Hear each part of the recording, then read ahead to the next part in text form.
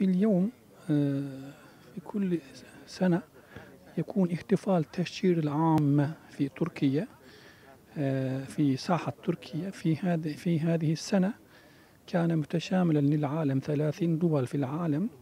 نفس الوقت مع حماية رئيس رجب طيب أردوغان آه، من في هنا في ليبيا بين مشاركة بين وزارة زراعة تركيا بين وزارة الزراعة الليبي بالتنسيق الثقة تشجير في هذه الساحة يوم التشجير للصداقة بين ليبيا وبين تركيا. نحن قررنا دورات دورات المهنية في بحث التشجير والزراعة والسموك والحيوانات وحيوانات دورات تدريبات إن شاء الله وتوزيع البذور بذور وللتنمية في مجال زراعة في كل ساحة.